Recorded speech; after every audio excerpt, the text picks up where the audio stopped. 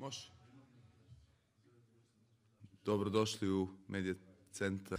Dakle, Lav Medija centar, stadion Crvena zvezda na redovnu konferenciju publike. Naša ekipa će već sutra krenuti put Novog pazara. Hvala, dobar dan. Nama ova utakmica u, u Novom pazaru dolazi u pravo vreme i ona će tačno pokazati koji su nam kapaciteti po pitanju karaktera i, i mentaliteta. Posle ove utakmice koja nas je dosta potrošila energetski i emotivno, moramo da se regenerišemo što pre, a to i jeste negde u, u, u genetskom kodu Crvene zvezde, da morate da se preispitujete na svakoj utakmici da u svaki meč ulazite sa istom ambicijom. Prema tome, u pravo vreme jedno teško gostovanje.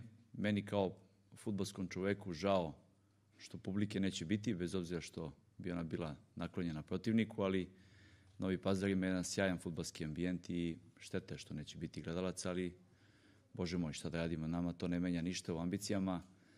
Imamo jasnu ideju da pobedimo, da ovu dobru igru iz utakmice protiv Bordoa prenesemo i u Novi Pazar po pitanju angažovanja, mentaliteta, entuzijazma, da nadgradimo sa e, preciznijom završnicom, golovima i sa tri boda i da se, da se vratimo, da pokušamo da se oporavimo što pre, da budemo spremni za revanš u Bordeaux. Zdravstveni bilten je dobar, imamo dosta, imali smo dosta rovitih igrača u, u, u pripremi utakmice protiv Bordeaux, oni su svi stisli zube, odigrali, danas su svi, osim Jovanovića, trenirali, čak tako da u principu nadam se dobrom biltenu, a opet ukoliko neko od momaka ne bude 100% spreman, sigurno neće biti u sastavu, jer igraćemo samo sa momcima koji, koji su u punoj snazi.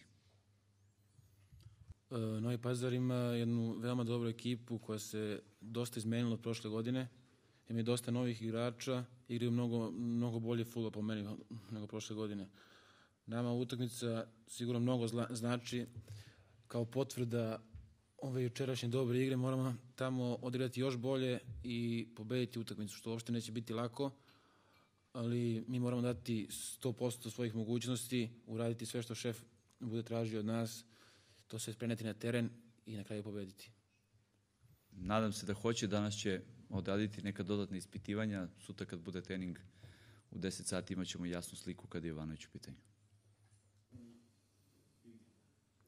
Pa sigurno da me, da me je povreda zgloba dosta poremetila, izbacila me iz tog takmičarskog ritma, ovaj, ali ja, ja sam još više radio, trudio se i mislim da, da, je ta, da su te, te loše partije iza mene i da ću još bolje raditi i da ću biti pravi na, na terenu i van njega.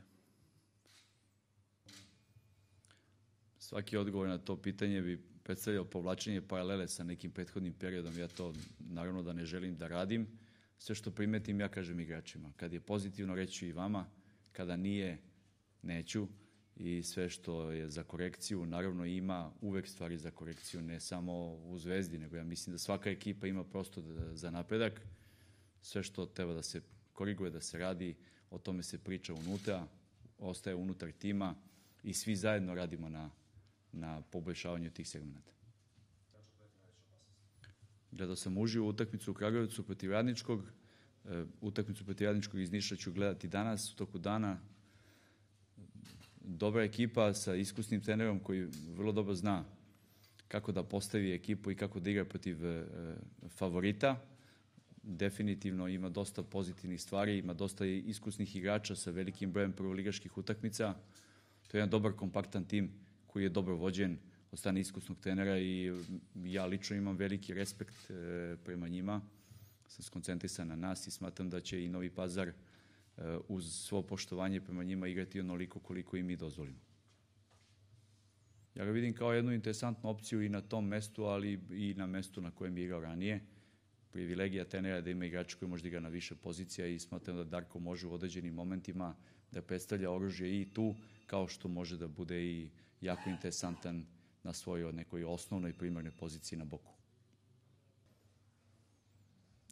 Da se ne vrtimo u krug da.